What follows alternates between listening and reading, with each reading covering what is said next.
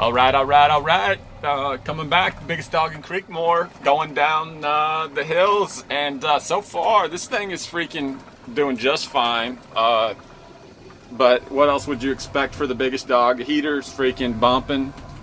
Uh, golf cart, freaking good. Little cookies for the big dog, not the biggest dog, but the big dog. And uh, you can see we got one of the neighbors out doing a little shoveling. You know, that's what most people should be doing.